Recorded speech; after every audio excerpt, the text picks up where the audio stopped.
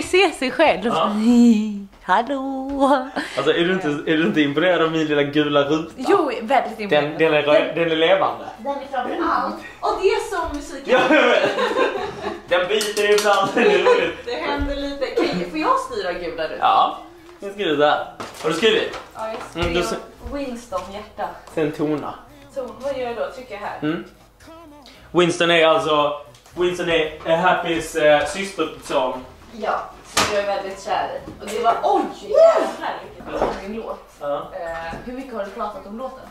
Nej men ganska mycket. Ja. Ja. Vad, har Eh, du, vad har du sagt? Du har ju, för jag har ju inte hört någonting. Kan du inte bara berätta kan du Jo. inte bara berätta kort lite vad... Den, alltså, jag tror att namnet är ganska... alltså den den heter ju den heter ju Antidepp. Ja. Ja. Har du gått på Antidepp någon gång? Nej, andra. Nej. Eh, nej men jag hade gått på, jag, jag hade gått på Antidepp i typ ehm, i typ ett halvår, fem, sex månader. Ja. Eh, och då kände jag att jag bara... För jag var också lite rädd för, för Antidepp. Alltså det, är jag tycker det, det finns ju ett stigma kring det. Typ. Alltså inte, jag, i- både, det finns ju ett stig- stigma här, samhällsmässigt att man är så här.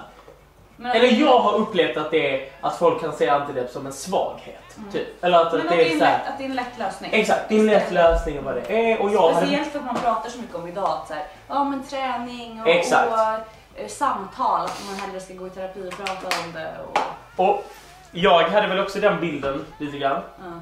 innan och sen så, sen så träffade jag en psykiatriker som sa men jag tror att du ska testa, testa att ta Antidepp. Eh, så gjorde jag det.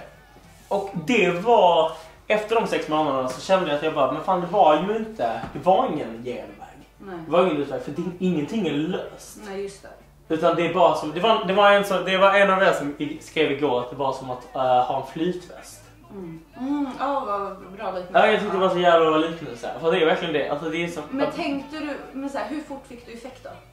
Ja, det tog lång tid. Eh, Ja. Två månader. För det har man ju hört, alltså folk som tar så här, ah, men det är en inkörsperiod Mm. på tre månader och sen... Men sen hur märker man då?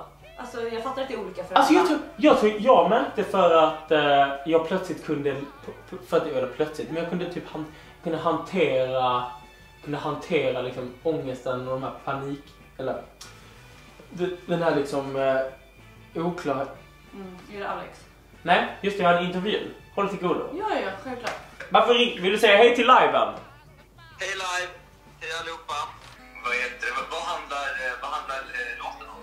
Vi satt och pratade om det precis. Eh, att Antidepp är... Jag skrev den eh, när, jag hade, när jag hade gått på Antidepp ett tag. Eh, och jag liksom insåg att... Går du på det nu?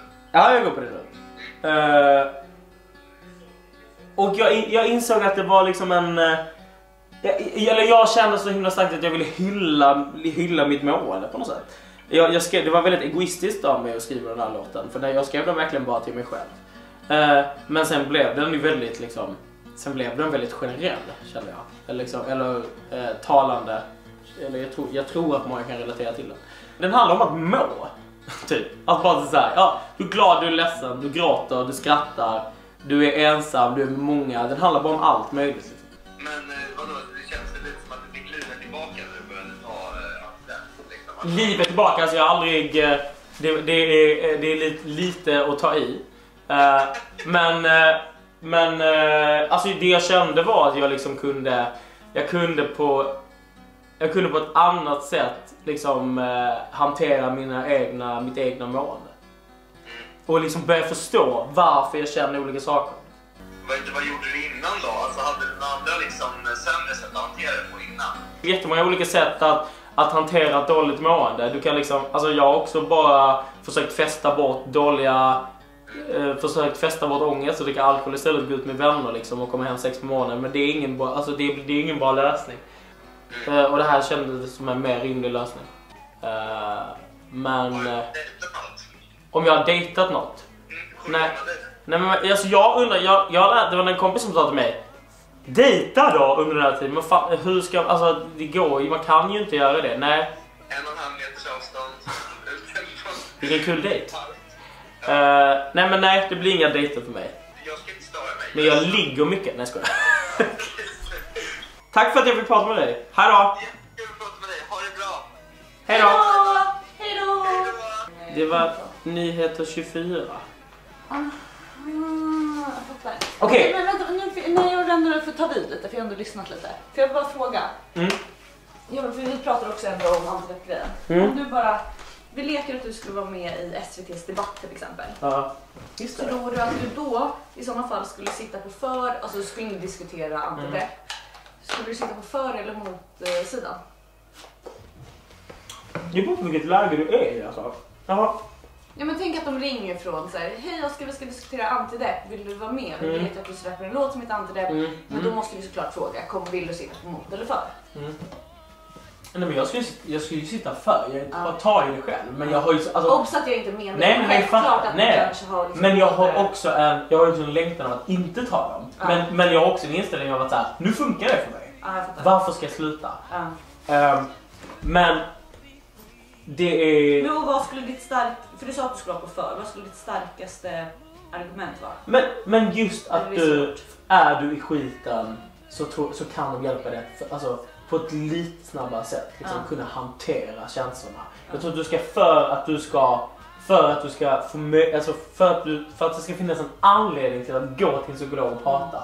Då måste du någonstans ha lite sens och kunna landa i vad är det jag behöver jobba med. Mm. Liksom. Eller för Men att vara mottaglig. Men tror att det kan bli så här, jag kommer inte ihåg, det var någon, jag vågar inte namedroppa för jag kommer inte ihåg vem det var, men det var någon youtuber eller någon form av influencer som pratade om att hon hade sagt så här. Det är självklart att folk ska gå i terapi. Ja. Om du mår dåligt, gå i terapi. Mm. Och det ledde till, för att hon hade väldigt unga följare, att unga människor kom hem och bara “jag mår dåligt, nu vill jag gå i terapi”. Mm. Alltså att, så här, när vet, förstår du vad jag menar? Mm. Jag, kan, jag förstod henne för hon pratade då om så här, det var inte riktigt så jag menar heller, för det är självklart Nej. man ska kunna försöka prata ur sig känslor och liksom Mm. försöka liksom gå den vägen som funkar bäst för en själv. Men jag tänker du kommer ju säkert få massa frågor nu, typ nu när du gjorde den här intervjun med vad var det? Nyheter 24 år. Mm. Eh, ja, men då är, alltså, så här, det kommer ju liknande frågor då. Liksom. Mm. Sen tycker jag att du svarar jävligt bra på det och att så här, som du är själv, att du är dubbel. Men eh, kan tycka att det är läskigt att, att du liksom råder eller avråder för något. Alltså, känner du att du tar, an, så här, känner du att du har- tar ansvar? Med, I och med det här För det här? Mm. Ja. Jo men det känner, alltså så här, jag, är, jag, jag, jag känner att jag är tydlig och vill förtydliga att så här, det antidepp har inte varit en quick fix för mig. Nej. Quick fix. Jag är inte... Jag har inte tagit det för att det ska gå, för, för att jag bara ska vakna upp ur, ur en depression. Nej. Utan för att jag kände att men jag, i mitt liv så har inte jag platsen för att kunna... Jag, jag, känner, jag har så himla nära till typ stress. Mm. Så att jag, jag hinner aldrig landa i mina olika känslor. Liksom. Nej. Och det behöver jag hjälp med. Ja. Så då blev antidepp i kombination med terapi Ja. en jävligt bra lösning för det. ja. Men, Men jag tycker att det är väldigt intressant vad du säger. Att så här, när, när ska man ta hjälp? Eller när är bara en timme löprunda ett mm. äh, äh, svaret? mm. Och det vet man nog själv. Alltså, Jaha. eller, för, eller så gör man inte det. Alltså, men så här då. Men då måste man ju testa. Men fråga. Du som konstnär och musiker. Eh, alltså det här, din musik är ju din konst. Mm. Eh, tycker du att man har ansvar som konstnär? Lite som när man pratar om med komiker. Jag vet Johanna var här en gång, Mm. Mm. Att så här, den här klassiska frågan, så här, får man skämta om allt? Mm. Om man så här, får man, du som konstnär, får du prata om allt? Alltså, I och med det här låtsläppet Antidepp, måste du ta ansvar då? Eller är det bara din konst som får tala för sig själv? Fan, jag kan också bli, jag kan bli skitirriterad på youtubers ibland. Mm. När man sitter och, och de pratar om något som ligger dem nära typ varmt i hjärtat så, sti- så kan jag sitta där och bara tycka någonting annat. Ja. Och så tycker jag att de är ansvarslösa. Ja, just det. Förstår Ja. du vad jag menar? Ja. Och så tycker säkert någon också som tittar på det här. Som tänker så här, ja det är lite ansvarslöst av oss. Nu tänkte jag säga så här, men det kanske är skillnad på konst och konst, men då låter jag som ett as. Eh, Men eh, så är det ju. men jag Kanske. menar, det här är din, det är din musik. Men jag fattar vad du menar. Ja, jag tycker väl att jag ska få göra vad fan jag vill. Ja. Eh, och jag, alltså så här, låten är inte för mig, alltså det, behöver, det behöver inte heller vara ett statement. Nej. Alltså det är inte så, det är liksom, den här låten handlar inte om ett piller. nej, nej, nej. Låten handlar ju, låten handlar ju om, att, om, om, äh, om att hylla livet på något sätt. Och Ja. att man bara vill ha mer av livet Ja. på något sätt. Eh, och antidepp, alltså i låten så är antidepp en metafor för något så här. Ja, ja, det är ju lite svårt. Jag tar, jag tar väl min namn till detta och typ lunkar vidare. Ja. Alltså, ja, och det är också det är lite kul för att det är typ så det är idag. Ja, exakt. Men jag tycker det är jätteintressant för jag tycker så här, typ nu när vi pratar om det. Då kan jag ändå tycka att det man säger någonstans, jag menar inte att man måste stå för allt man säger för Nej. ibland pratar, som nu sitter vi bara och pratar Mm. och då kan man ju så säga någonting som man bara, alltså man tänker medan man pratar, det är inte så genomtänkt. Nej. Men det tycker jag ändå att man har mer ansvar för än typ sin konst. Ja men det tycker jag också. Eh, Alltså jag skulle, jag skulle kunna, alltså hade jag släppt låten utan Mm. att säga något. ja, Alltså utan att berätta, alltså jag kan ju välja om jag vill berätta vad den handlar om för mig. ja. Det tycker jag det tycker jag är, det, det har man som val. Mm, som konstnär, musiker och, och så. Att du kan, du, du kan släppa ett verk och sen så kan du berätta också vad den handlar om. Annars är det ju upp till tolkning. Alltså, Ja, ja exakt. Jo för du sa, för jag hörde också när du pratade med honom att du bara, jag skrev den här låten och det var lite egoistiskt för jag skrev Mm. den för mig själv. Mm. Och jag fattar vad du menar, du skrev den för din egen skull och inte för andras. Men folk kommer ju fortfarande lyssna på den och sen få göra sin egen bild av vad den betyder Exakt. för, Ja, men det med, alltså, sen har jag valt att göra lite ty- alltså, jag hade kunnat ta ett omslag som inte är med pin. Men det är väl också lite kul, herregud. Ja, det är Alltså, fint. Ja det, är- det är väldigt fint. Här sitter jag och målar. Alltså jag har fått så mycket film. Lila. Men skulle du kunna tänka dig efter det här att vara med i Big Brother? Nej! Eller kanske inte så Har du sett något av Big Brother? Ja, det har jag faktiskt. Det är ju lite kul. Ja men det är, alltså jag tror att så här, jag tror att det är så med alla de där programmen, om man följer så blir det kul för att då blir det här att man typ lär känna personerna.